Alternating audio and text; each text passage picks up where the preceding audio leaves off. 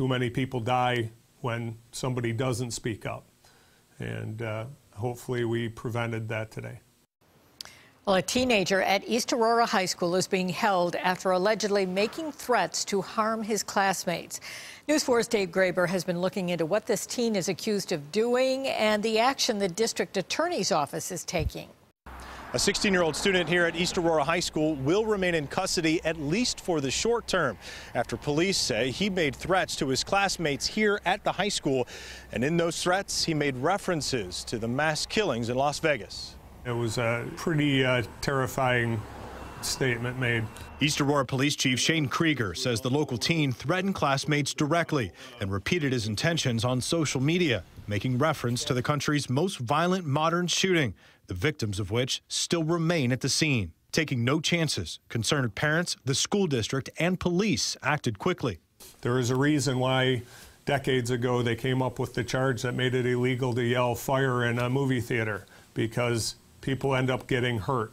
Police don't believe the teen had access to any weapons, but in the wake of the Sin City killings, which claimed 59 lives and injured more than 500 more, this was far from an overreaction. You can't make comments like that this day and age. Too many people die when somebody doesn't speak up.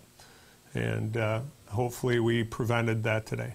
The teen, who's not being named or shown because of his age, was arrested late Monday at his home. He was arraigned in town court Tuesday morning. He's being held in juvenile detention pending his next court date, as well as psychological evaluations. This individual deserves to be uh, in jail uh, until he can get a psychiatric evaluation done to find out what's going on here. Erie County DA John Flynn is an East Aurora alumni. This young man was making statements uh, the, the day after uh, this tragedy occurred.